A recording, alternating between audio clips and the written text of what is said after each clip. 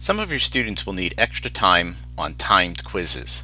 The process for adding extra time is a simple one, but it must be done on each individual quiz you give for the semester.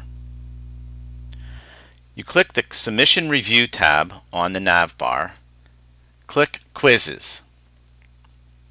You're going to click on the name of the quiz you want to add extra time. Click the Restrictions tab.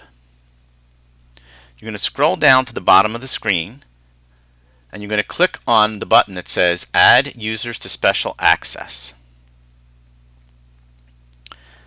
So this particular quiz is 20 minutes and I want to give the student double time. So what I'm going to do is scroll down and I'll see the list of my, my courses and all the students in the course. I'm going to go ahead and checkbox the student or if there's multiple students, any students that you want that are going to have to add extra special time. I'm going to click the checkbox next to Assign Special Time Limit and I'm going to change the time limit in there. In this case it's double time so it's 40 minutes. Then I'm going to click the button that says Add Special Access.